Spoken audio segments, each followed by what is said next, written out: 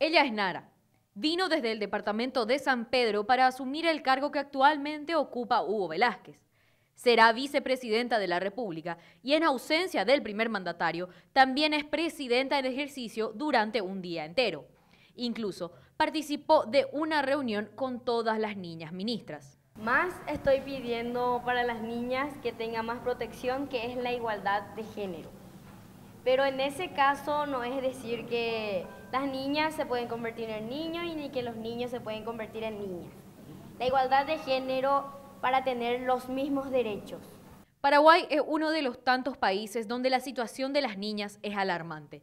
Siete de cada diez adolescentes no termina el colegio por problemas económicos, lo que dificulta que tengan el mismo acceso a las oportunidades que los niños.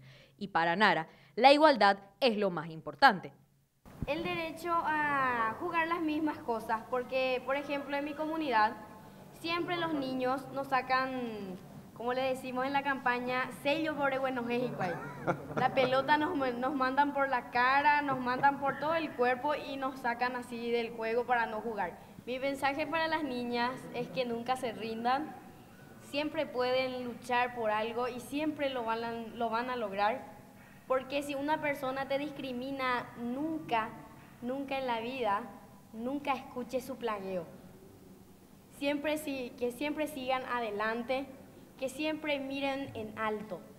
Y como estaba diciendo recién en mi discurso, tu voz y mi voz vale. Más de 60 instituciones de nuestro país participaron de esta campaña que desde el 2011 es llevada a cabo por Plan Internacional y la Organización de las Naciones Unidas. El principal desafío para Paraguay es pasar de lo simbólico a lo real y a los hechos, hacer que los derechos que están establecidos en las leyes no sean mera letra muerta y sean garantías que puedan asegurar la igualdad de niños y niñas en el acceso a las oportunidades. Para A24 Paraguay, Belén de los Ríos.